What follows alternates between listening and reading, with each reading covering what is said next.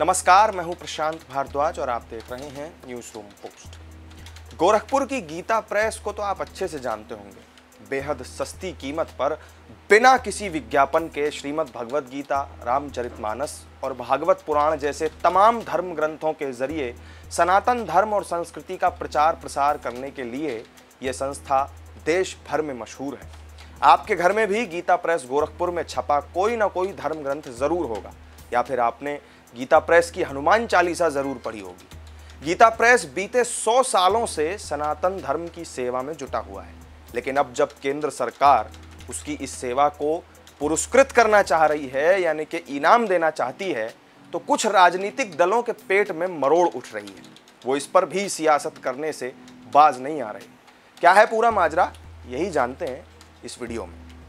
दरअसल, प्रधानमंत्री नरेंद्र मोदी की अध्यक्षता वाली एक ज्यूरी ने गीता प्रेस को साल 2021 का गांधी शांति पुरस्कार देने का ऐलान किया। केंद्रीय संस्कृति मंत्रालय ने आधिकारिक तौर पर इसकी घोषणा भी की। गीता प्रेस को यह पुरस्कार अहिंसक और दूसरे गांधीवादी तरीकों से सामाजिक, आर्थिक और राजनीतिक परिवर्तन की दिशा में योगदान देने के लिए दिया जाएगा। प्रधानमंत्री मोदी ने गीता प्रेस को गांधी शांति पुरस्कार के लिए चुने जाने पर बधाई देते हुए ट्वीट भी किया। उन्होंने लिखा कि गीता प्रेस ने 100 साल में लोगों के बीच सामाजिक और सांस्कृतिक परिवर्तन को आगे बढ़ाने की दिशा में काफ़ी सराहनीय काम किया है। गांधी शांति पुरस्कार से सम्मानित संस्था या व्यक्ति को एक करोड़ रुपए की इनाम राशि भी दी जाती है। गीता प्रेस अपनी परंपरा के मुताबिक किसी भी सम्मान को स्वीकार नहीं करता।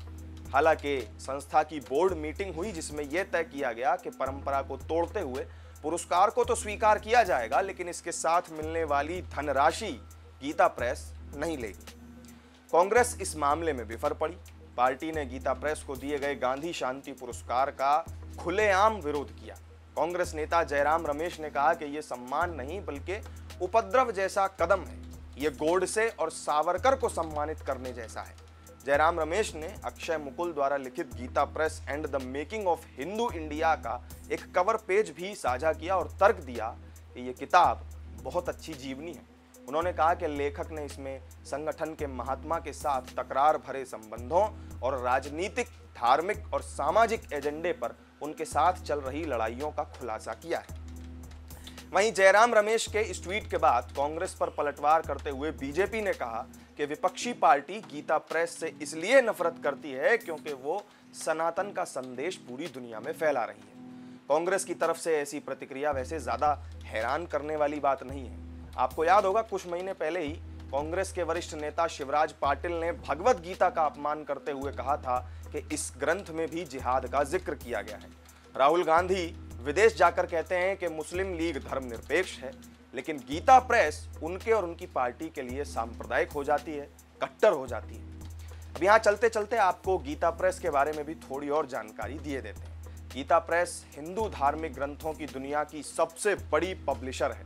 इसकी स्थापना उत्तर प्रदेश के गोरखपुर में 29 अप्रैल 1923 को की गई थी। जयदयाल गोयंका, घनश्याम दास जलान और हनुमान प्रसाद पोद्दार ने मिलकर इसकी स्थापना की थी। गीता प्रेस की स्थापना का मकसद सनातन धर्म के सिद्धांतों को बढ़ावा देना था। हनुमान प्रसाद पोद्दार, गीता प्रेस की जो मैगजीन निकलती थी कल्याण, उसके आजीवन संपादक भी रहे। अपनी स्थापना के पाँच महीने बाद ही गीता प्रेस ने छह सौ रुपए में प्रिंटिंग मशीनें खरीद ली थी। गीता प्रेस के आर्काइव में तीन हज़ार पाँच सौ से ज़्यादा पांडुलिपियाँ मौजूद हैं। गीता प्रेस चौदह अलग अलग भाषाओं में अब तक तकरीबन बयालीस करोड़ धार्मिक पुस्तकें छाप चुका है, जिसमें से 16 करोड़ 21 लाख कॉपियाँ तो अकेले श्रीमद भगवत गीता की ही शामिल हैं। इसके अलावा 11 करोड़ तिहत्तर लाख गोस्वामी तुलसीदास की रचनाएँ और 2 करोड़ अड़सठ लाख पुराण और उपनिषद की कॉपियाँ भी गीता प्रेस ने छापी हैं। तो इस वीडियो में मेरे साथ फ़िलहाल इतना ही। गीता प्रेस गोरखपुर को मिले पुरस्कार और इस पर कांग्रेस की प्रतिक्रिया पर आपका क्या कहना है, कमेंट करके ज़रूर बताइएगा। वीडियो पसंद आया हो तो लाइक और शेयर कर दीजिएगा और चैनल को अगर सब्सक्राइब नहीं किया हो तो ज़रूर कर लीजिएगा। फिर मिलेंगे एक नई वीडियो में नई जानकारी के साथ। तब तक के लिए दीजिए इजाज़त। नमस्कार।